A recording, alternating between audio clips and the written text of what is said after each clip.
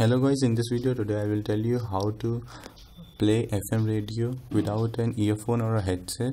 As you all know that when we try to open fm radio and without plugging in our headset it gives uh, an error or a small toast that we need to enable uh, we need to plug in headphones to uh, listen to our radio. So i will tell you how that error comes when we open our fm radio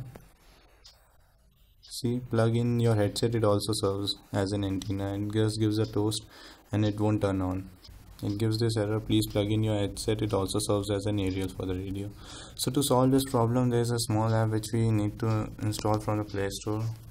Just search for sound about yeah this app.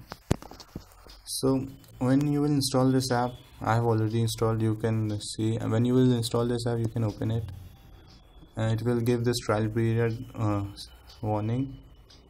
You can buy the license uh, or you can just uh, enjoy the app in the trial period and test it out if it works for you. So now what we're gonna do we're gonna go to this media audio option and we will uh, select the wired headphones.